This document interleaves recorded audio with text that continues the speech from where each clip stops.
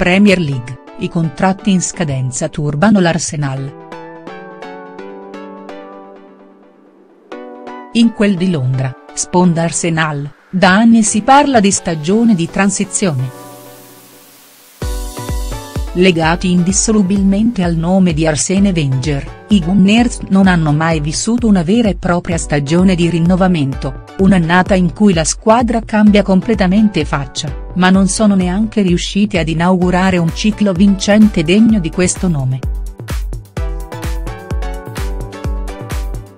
Ogni anno qualche giovane più o meno affermato approda all'Emirates Stadium provando a garantire ai londinesi lo sprint decisivo per poter tenere in piedi fino alla fine la corsa al titolo. Eppure, stavolta, il nucleo principale delle ultime stagioni dell'Arsenal sembra in serio rischio. Da anni, oramai, la costruzione del gioco e dei risultati di Wenger si basa su alcune certezze. C'è tra i pali, Koscielny a comandare la difesa, ma soprattutto il talento di quelli davanti, Sanchez ed Ozil, unito alla sete di gol di Giroud e alla rapidità di Vacot ed Oxlade Chamberlain, cresciuto esponenzialmente nelle ultime stagioni. Quest'estate, alla rosa si è unito anche Alexandre Lacazette, acquistato per una cifra vicina ai 50 milioni di euro dal Lione, l'idea iniziale era farlo convivere proprio con Sanchez ed Ozil in un tridente stellare, con gli altri interpreti a spaccare le partite dalla panchina, ma le cose stanno andando molto diversamente. Sia il cileno che il tedesco, infatti, vedranno i rispettivi contratti scadere alla fine di questo campionato, ed entrambi ancora sembrano lontani dal rinnovo.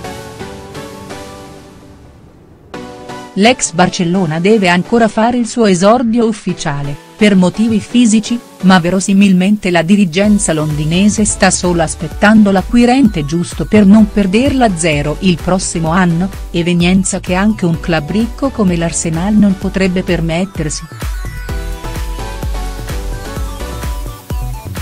Se questo è un problema, potrebbero arrivarne di peggiori. Sì perché, se la situazione Sanchez sembra sempre più vicina alla soluzione, con il City a bussare con 77 milioni di euro sotto braccio, rimangono molto intricate quelle di Mesut Ozil e Oxlade Chamberlain. Il problema sono i contratti in scadenza e le loro conseguenze nella mente dei giocatori. Ozil, da sempre non esattamente un esempio di concentrazione, costanza ed abnegazione, è stato sicuramente il peggiore in campo nella sconfitta contro lo Stoke City, al termine di una settimana che aveva visto inseguirsi le voci di una proposta di rinnovo dell'Arsenale e del forte interessamento del Barcellona.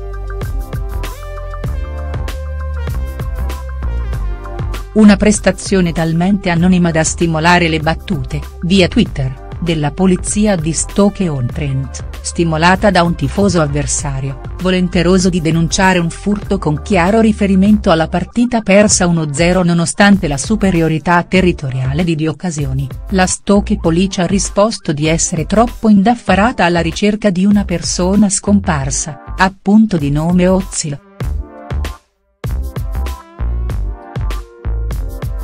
Simpatici aneddoti a parte, anche la prestazione di Chamberlain quattro giorni fa è stata tutto tranne che positiva, da parte sua l'impegno c'è, ma il numero spropositato di giocate individuali ha dato quasi l'impressione che l'inglese volesse dimostrare qualcosa, sentirsi davvero all'altezza del palcoscenico tanto da meritarsi un rinnovo.